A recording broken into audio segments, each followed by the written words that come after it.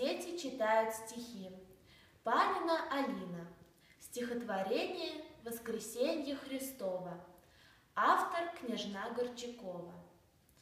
В день Пасхи, радостно играя, Высоко жаворонок взлетел, И в небе синим исчезая, Песнь воскресения запел.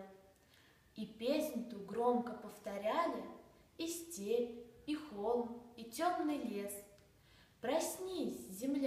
они вещали, Проснись, твой царь, твой Бог воскрес. Проснитесь горы, долы, реки, Хвалите Господа с небес. Побеждена им смерть вовеки, Проснись и ты, зеленый лес.